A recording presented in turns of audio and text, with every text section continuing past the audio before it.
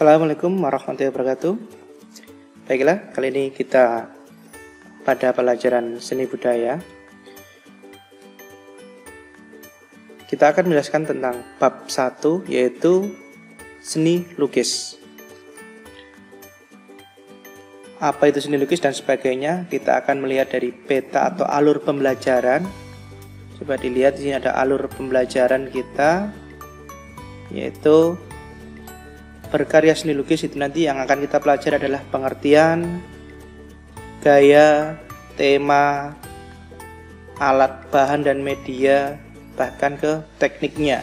Jadi bagaimana karya seni lukis itu akan dibuat ataupun dikerjakan ya. Coba perhatikan karya-karya seni lukis berikut ya. Ada karya lukis dengan objek alam. Ada rumah yang warna-warni, yang ya, yang mungkin di sini unik atau aneh. Ada juga kendaraan di bak truk ya. Sini ada. Ada juga yaitu semacam uh, lukisan yang pada media yang mungkin tidak umum. Ini seperti di mangkok ataupun keramik ya ada juga yang menggunakan uh, telur, ada anyaman bambu dan sebagainya. Ini adalah kerak telur yang dicat dan ini adalah uh, rumah siput ya yang bisa dilukis demikian rupa sehingga menghasilkan karya yang unik di situ. Nah itu, jadi banyak seni lukis yang bisa kita amati atau nikmati dari berbagai karya, ya. Berbagai karya itu bisa dari cara melukis ataupun media yang digunakan. Baiklah, yang pertama adalah pengertian lukisan dan gaya lukisan. Seni lukis merupakan cabang dari seni rupa yang cara pengungkapannya diwujudkan melalui karya dua dimensi atau dimensional, di mana unsur pokok dalam karya dua dimensi adalah garis dan warna. Menurut Sudarso, SP 1990 Melukis adalah kegiatan mengolah medium dua dimensi atau permukaan datar dari objek tiga dimensi untuk mendapat kesan tertentu dengan melibatkan ekspresi, emosi, dan gagasan pencipta secara penuh. Nah itu.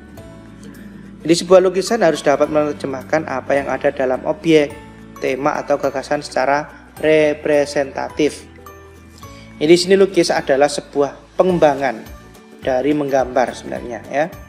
Kalau menggambar itu mungkin sama persis dengan aslinya, tetapi kalau seni lukis itu mempunyai nilai sudut pandang yang berbeda, nilai sudut pandang yang berasal dari senimannya sehingga objek yang biasa saja menjadi objek yang mungkin mempunyai karakter yang lebih kuat di situ. Jadi seni lukis tadi adalah sebuah pengembangan dari menggambar yang memiliki keunikan atau ciri khas tersendiri. Ciri khas ini didasarkan pada tema, corak atau gaya, teknik serta bahan dan bentuk karya seni tersebut. Ya, itu adalah lukisan. Pengembangannya seperti itu.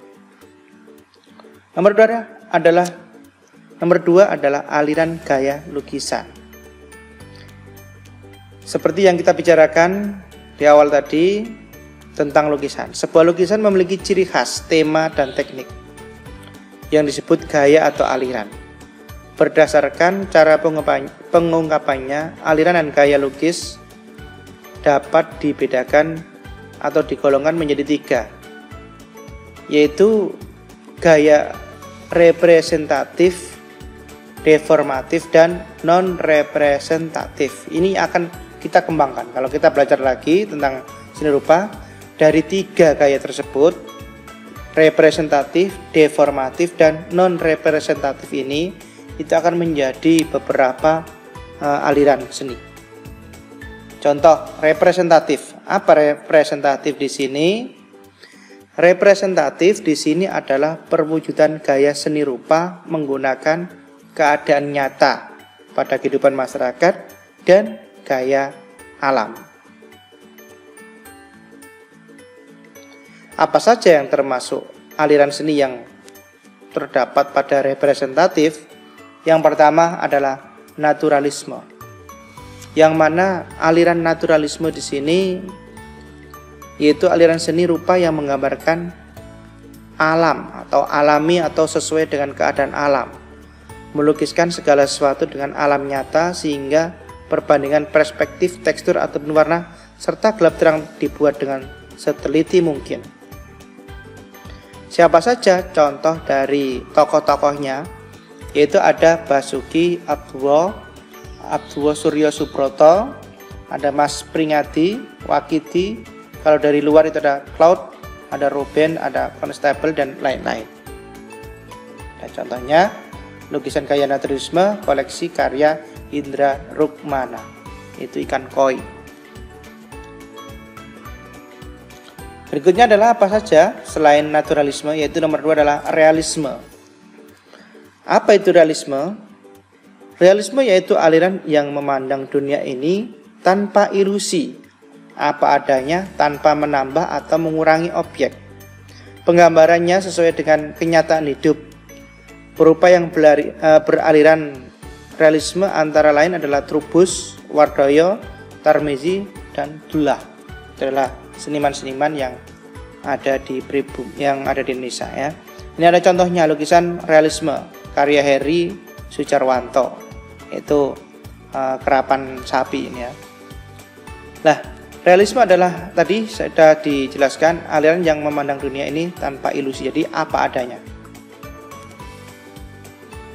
Selain roman, uh, selain realisme ada romantisme, yaitu aliran seni rupa yang lebih bersifat imajiner.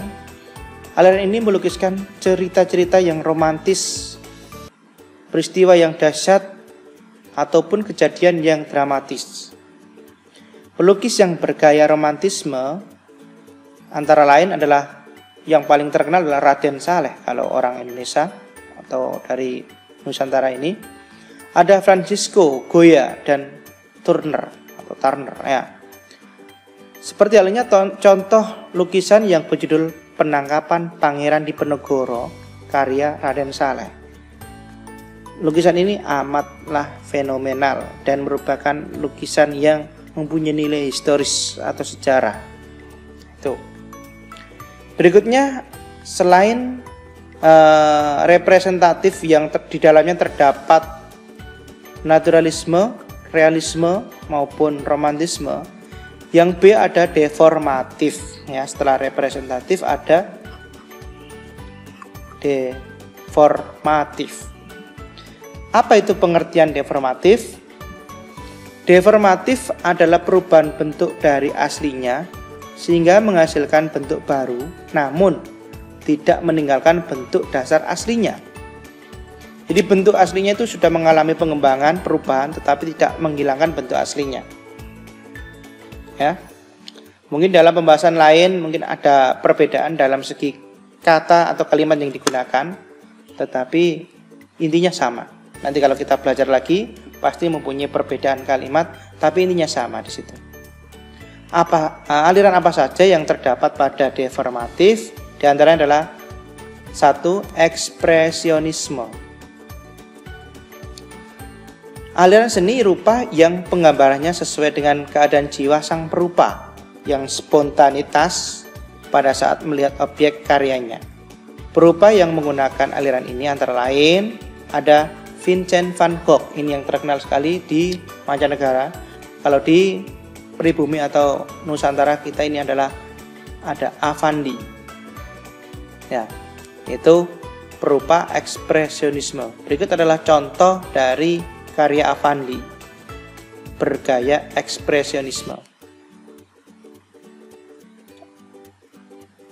Yang terkenal di situ adalah potret diri ya, karya Avandi.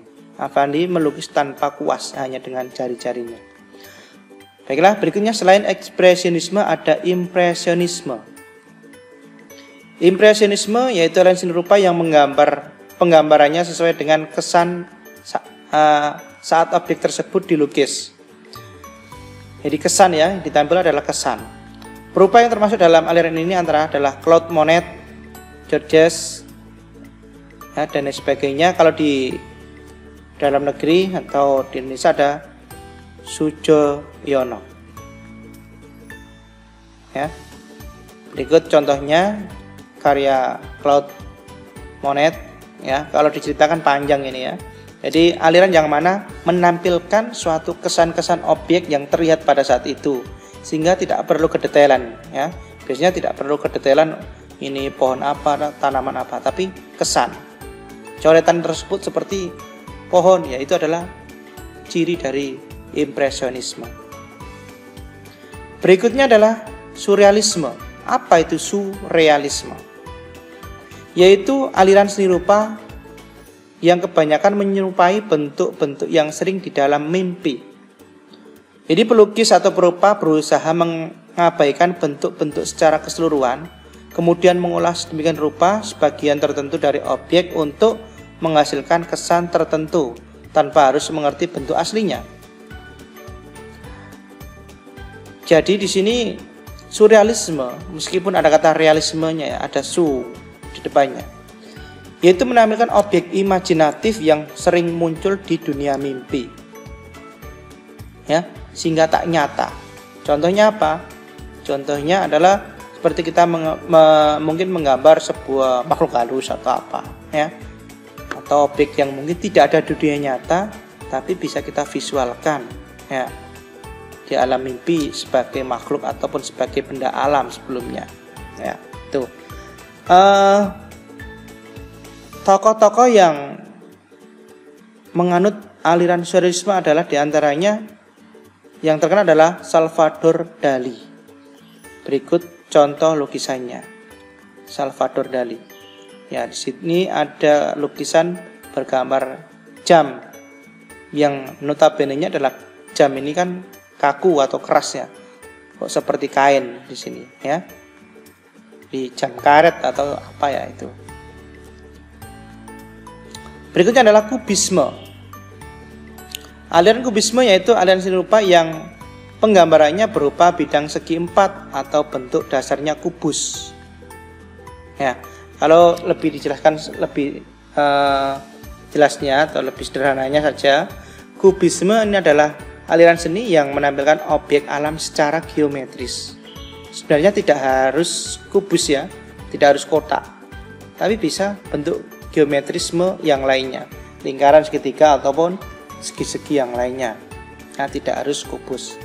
Ini contoh aliran kubisme. Ya kan, tidak harus kotak. Tapi bagaimana seniman itu menampilkan objek alam secara bentuk-bentuk geometris. Itu adalah ciri dari kubisme. Nah, siapa saja tokoh-tokohnya? Antara lain adalah Pablo Picasso, ada Bud Mukhtar kalau orang Indonesia ada Fajar Sidik, ada Mukhtar Apin dan sebagainya, banyak sekali. Nah, sampailah yang uh, aliran dasar yang terakhir yaitu non representatif. Pengertian non representatif adalah suatu bentuk yang sulit untuk dikenal.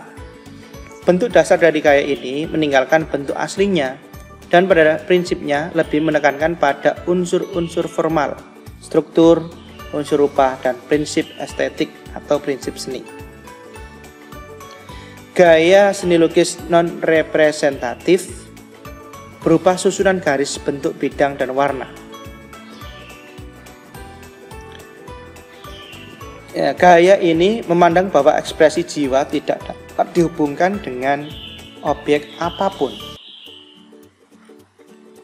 Jadi kalau kita uh, maknai kalau kita jelaskan lebih simpelnya non representatif ini bentuknya sulit untuk kita kenal atau bentuk yang tidak ada di alam. Yang kita tidak tahu bentuk apa itu. Karena yang kita lihat pasti hanya e, berupa susunan-susunan garis bidang tekstur dan sebagainya itu. Warna dan sebagainya itu. Gaya ini dipelopori oleh Amri Yahya Fajar juga dan ada Sadali dan Put Mukhtar. Contohnya bisa kita lihat karya Bud Mukhtar, dan contoh-contoh dari non representatif yang lainnya. Yaitu biasanya adalah disebut non representatif ini disebut dengan abstraksionisme atau abstrak. Kalian mungkin pernah dengar aliran abstrak. Oh, ini abstrak ini ya. Abstrak berarti kita tidak tahu apa bentuk apa di situ yang kita lihat, tidak karena tidak menyerupai bentuk-bentuk di alam. Dikatakan itu hewan bukan, dikatakan itu benda buatan manusia juga bukan. Yang kita lihat hanyalah goresan warna, bentuk ataupun tekstur ataupun pola. Itu adalah abstrakisme atau aliran abstrak yang mana termasuk dalam non representatif.